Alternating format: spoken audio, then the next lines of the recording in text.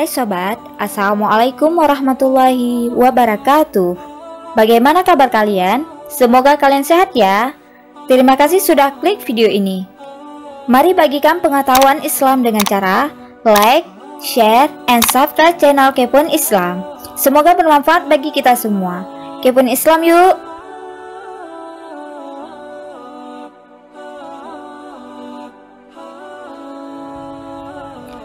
Al-Quran tidak membatasi diri hanya dengan menyebutkan makanan yang diizinkan dan yang tidak diperbolehkan, tapi juga memberi tips bermanfaat mengenai diet seimbang. Makanan yang mengandung sebagian besar jika tidak semua bahan bermanfaat yang dibutuhkan untuk pertumbuhan, penguatan, dan perbaikan tubuh manusia. Bahan-bahan ini meliputi protein hewani, lemak, kalsium, zat besi, garam, dan lain-lain Diet yang paling seimbang terdiri dari daging, ikan, susu segar, keju, dan buah. Baik referensi langsung maupun tidak langsung telah dibuat mengenai hal tersebut. Nah, apa sajakah menu makanan yang sehat yang disarankan dan disampaikan dalam Al-Quran dan hadis? Simak ulasan berikut ini hanya di Kepon Islam Official.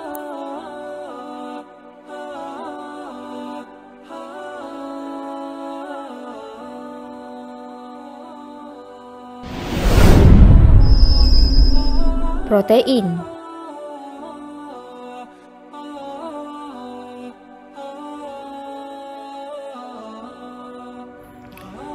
Referensi mengenai pentingnya protein daging dalam makanan manusia disampaikan dalam surat An-Nahl ayat 5. Dan ternak, dia telah menciptakan mereka untukmu. Di dalamnya ada kehangatan, pakaian, dan banyak manfaat. Dan dari mereka yang kamu makan. Ikan selalu dianggap sebagai makanan dengan protein sangat tinggi dan sangat penting untuk dikonsumsi manusia. Allah berfirman dalam Al-Quran Surat Fatir ayat 12. Dan dari mereka berdua, air tawar dan air asin, kamu makan daging yang segar atau ikan.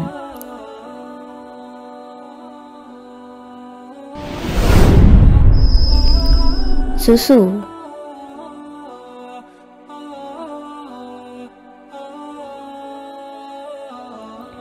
Kegunaan susu segar ditekankan dalam Al-Quran Surat An-Nahl ayat 66. Dan sesungguhnya pada binatang ternak itu benar-benar terdapat pelajaran bagi kamu. Kami memberimu minum dari apa yang berada dalam perutnya atau berupa susu yang bersih antara tahi dan darah yang mudah ditelan bagi orang-orang yang meminumnya.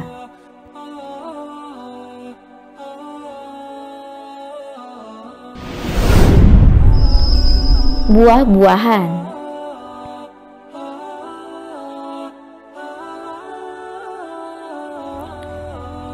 Demikian pula ada ayat-ayat yang mencakup seluruh jajaran buah-buahan, salad dan sayuran yang juga memainkan peran penting dalam diet bergizi dan seimbang.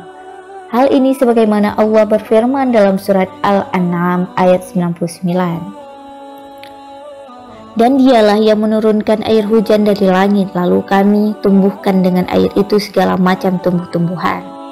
Maka kami keluarkan dari tumbuh-tumbuhan itu tanaman yang hijau. Kami keluarkan dari tanaman yang menghijau itu butir yang banyak. Dan dari mayang kurma mengurai tangkai-tangkai yang menculai.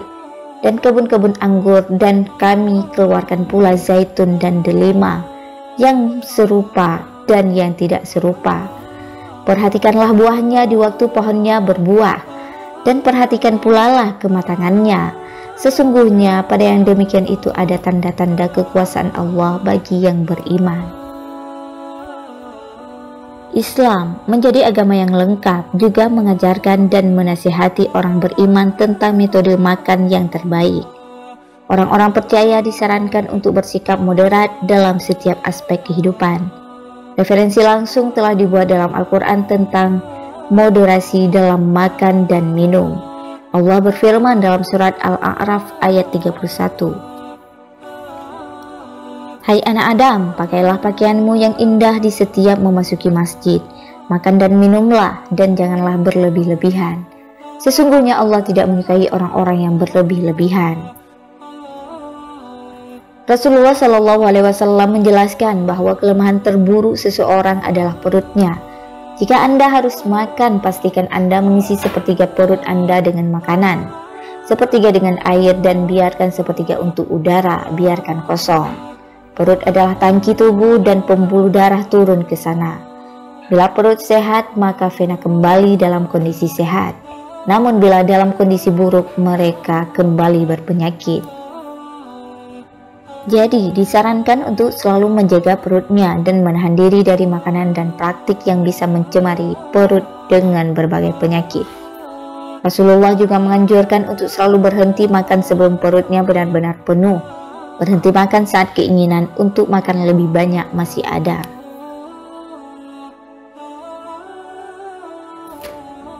Dari semua yang telah disebutkan, pentingnya makan sehat, diet seimbang, dan higienis dapat dipahami dalam Al-Quran dan Sunnah. Islam telah menekankan pentingnya hal-hal ini sejak awal tidak seperti otoritas kesehatan dan lain-lain yang baru saja mulai menekankan pentingnya hal tersebut. Ini bisa dihitung sebagai permata lain yang mewujudkan kesempurnaan Islam. Wallahu a'lam bisawab.